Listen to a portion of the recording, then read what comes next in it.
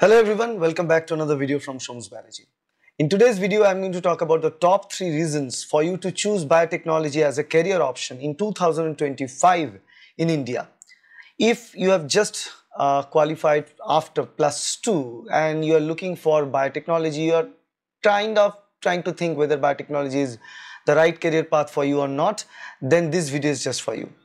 Because this is going to tell you the top three reasons right now could be the best time to get into biotechnology industry and biotechnology career in India. The very first reason is the booming career opportunities in healthcare, agriculture industry. Okay, healthcare, agriculture and also other industrial processes that use biotechnology tools to grow themselves and all these places are booming. Now why I say they are booming because in India currently the, the budget, the budget for the sector of biotechnology is sanctioned to be 150 billion dollars 150 billion dollar industry in biopharmaceuticals in healthcare and in agri-tech industries. So cumulatively 150 billion dollar industry. So obviously it will be growing. So there is a chance there will be job opportunities coming in. So high demand for the biotechnologies in pharmaceuticals a serum institute biocon are the places where you can go.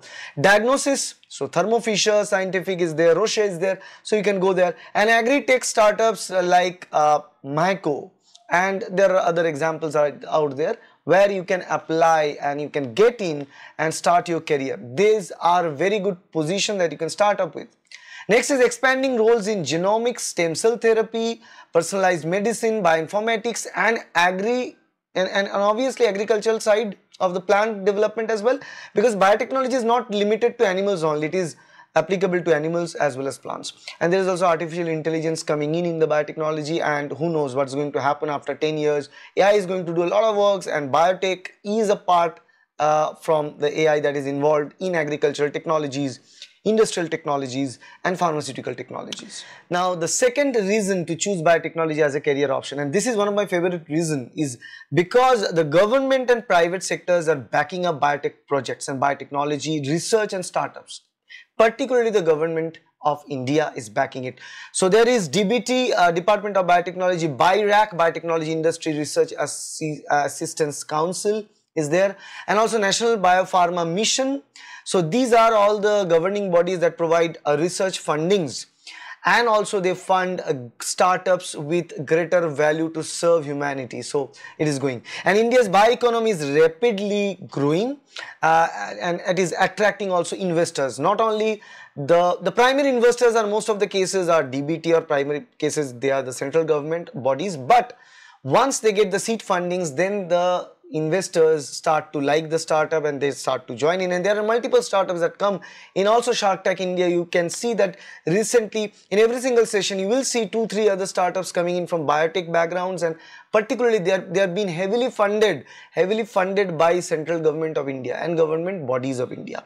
And then they might get funding from the Shark Tank or they might get funding outside of Shark Tank Rising uh, of these biotech startups in uh, synthetic biology, CRISPR, gene editing and bioagriculture.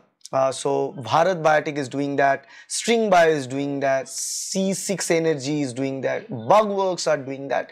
So there are many companies out there who are doing this uh, bioagriculture part as well. So agricultural sector in India has to grow because of the huge demand that is out there and the supply is too little. So we need to continue with the supply because in India, the population is uh, growing and growing and growing and growing. That is one thing to worry about, but that gives the opportunity to, to, to feed them and bioagriculture comes in so these companies will definitely grow.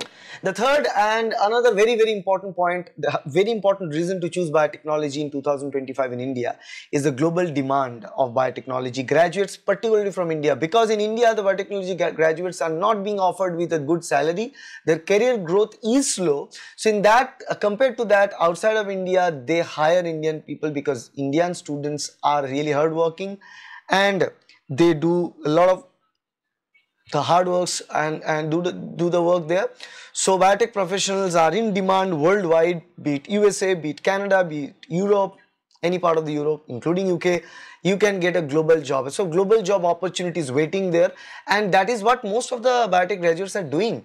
They are not staying in India because in India there is high competition and the salary is low, career growth is slow. Compared to that they are moving out of India and they are getting a better salary, better career opportunity.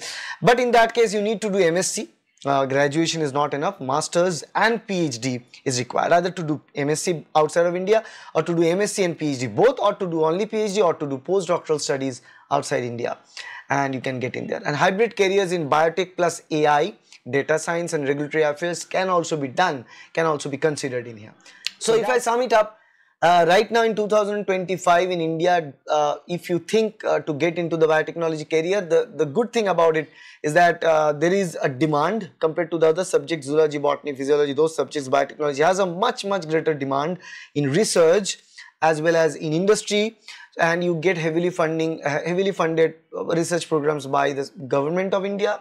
And also it is being backed by some investors. If you run a startup, it can be backed by investors and uh, most future proof careers as you can say because if the AI is going to come but biotechnology is going to stay because it is going to work hand in hand with AI, AI is not going to run out of biotechnology, they are going to stay along with the biotechnology here in 2025.